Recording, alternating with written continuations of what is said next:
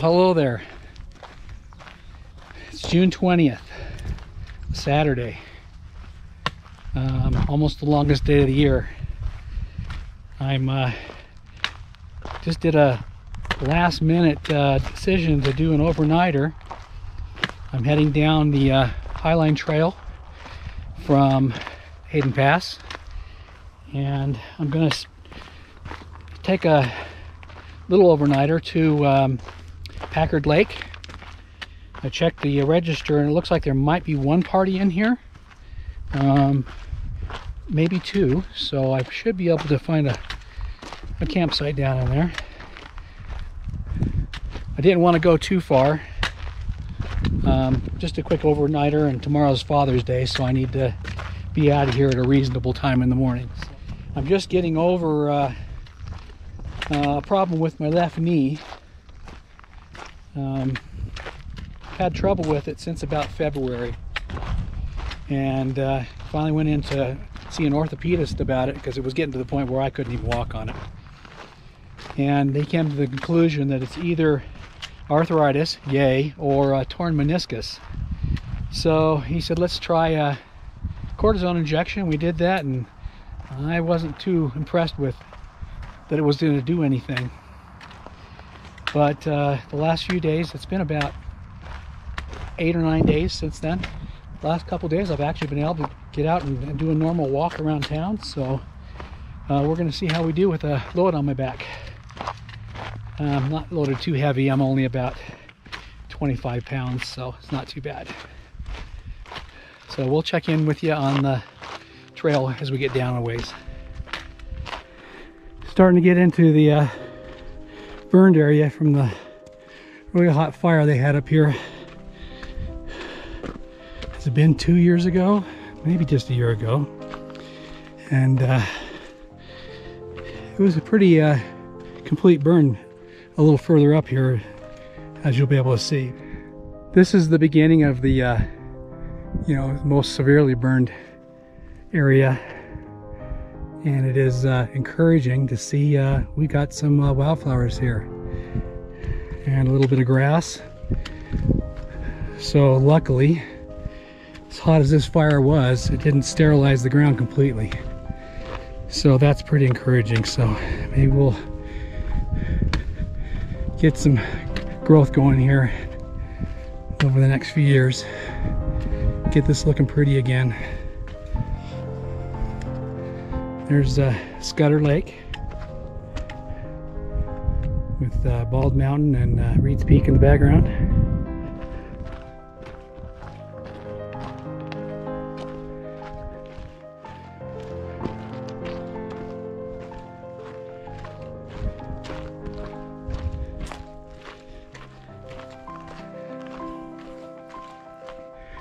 So last time I was here, I was, uh, it was uh, two or three months after the, the fire had been up in here. And it was probably late October, November-ish, because there was about a four, five, six inches of snow on the on the trail, or more in different places. And I came in here to check out Packard Lake. So everything obviously looks a little bit different. than it did that time. And uh, right up here just a ways, I lost the trail and just went cross countrying to find my way up and over to the, over the next ridge. So we'll see if I can see now where I made my mistake. Now I see where I went wrong. I had gone down this trail right here along the the lake and I got over there and I realized that wasn't the right right place so I came back here looking for the trail cutting off here couldn't find it. It's actually right here. It was all covered in snow so I didn't see it. So I ended up going up by the creek that's back there up the creek drainage and up and over this the hard way. It was a oh knee to mid thigh deep snow and I was post holing pretty much all the way up there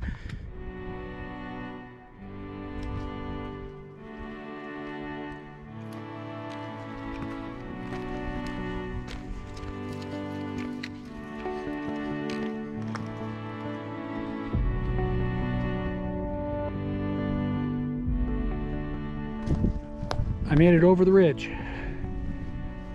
So now we're uh, coming up on Wyman Lake. It's just a few yards up here.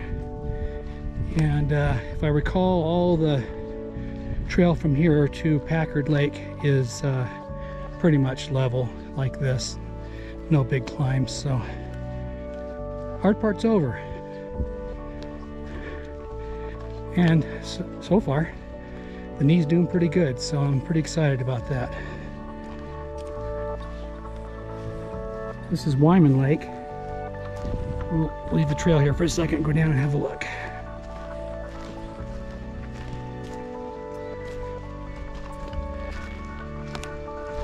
as I mentioned previously, I was here in the late fall, early winter, and this was covered in ice. So it looks a little different.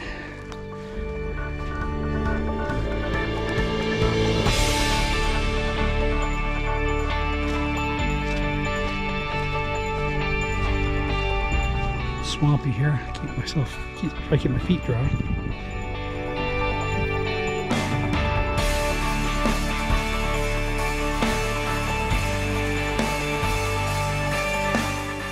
Pretty nice and peaceful.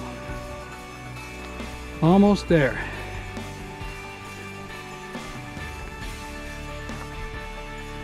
Yeah, there's uh, Packard Lake back in there if you can see it.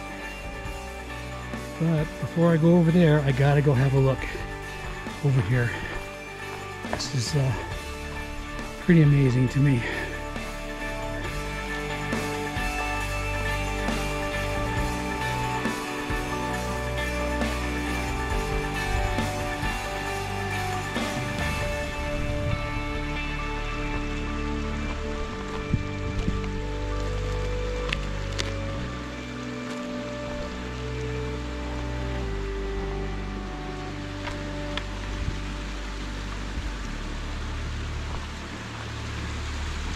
How about that?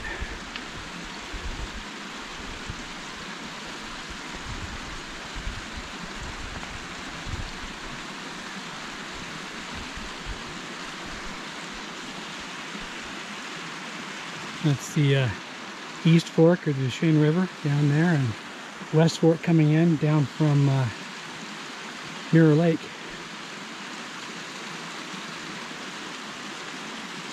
We'll come down check out this waterfall on the uh, a little bit later. But we're going to see if we can find a campsite first. And it looks like I'm seeing the first of the mosquitoes. Boo! Uh, when I was up here in the late fall, early winter, apparently there was no um, water coming over this waterfall.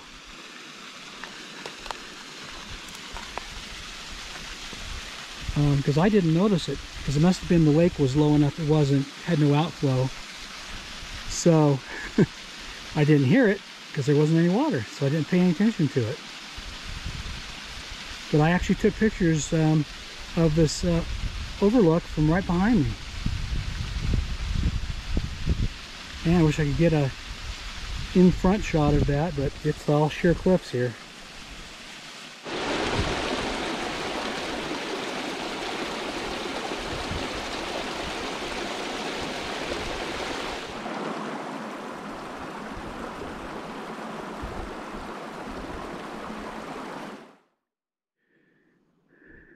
I'm back at camp and I'll make some dinner. I'm curious to how this is going to come out. Let me uh, check my water here real quick. Oh, it's getting there.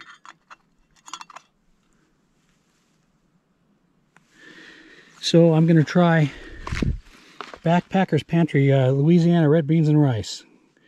We'll see how that is. I'm a little worried though. It says it takes 15 to 20 minutes plus double the time for every 5,000 feet of elevation gain. So, and they started at five, so I got to double that. So, I guess I'll uh, do what I've done before and put it in my neoprene koozie and uh, put it in my sleeping bag and let it go for uh, 30 or 40 minutes. I ended up uh, being the only one up here. Everybody else must have gone out for Father's Day, so it's pretty nice though. Sure quiet. Well, here's the verdict on the uh, Louisiana red beans and rice. They're pretty good. A little bit on the spicy side. But uh, it rehydrated really good. In fact, I let it go for full 40 minutes. And I'm about half done with it, and it's still too hot to eat. so I won't worry about this in the future. And I'll let these things cook as even longer than they need to. I think the longer they go, the better they rehydrate. Now the sun's starting to set over there. Clouds don't look too intriguing for uh, a sunset. But we'll see. Sometimes you get surprised. We'll wait till the sun goes down and see if we can get anything. And then we'll uh, hit the hay. The plan tomorrow is I probably need to get out of here about um, 7 o'clock. Leave myself plenty of time. I got to get back down to where I have internet access. Um, the family's having a Father's Day Zoom meeting with everybody in the family, so I better I got to be there for that, or people won't like me. So, so I'll be getting getting to bed here pretty soon, and uh, hopefully, uh, sun the sunrise over there to the east will wake me up in the morning, and we'll get on our way. We'll check in with you uh, in the morning.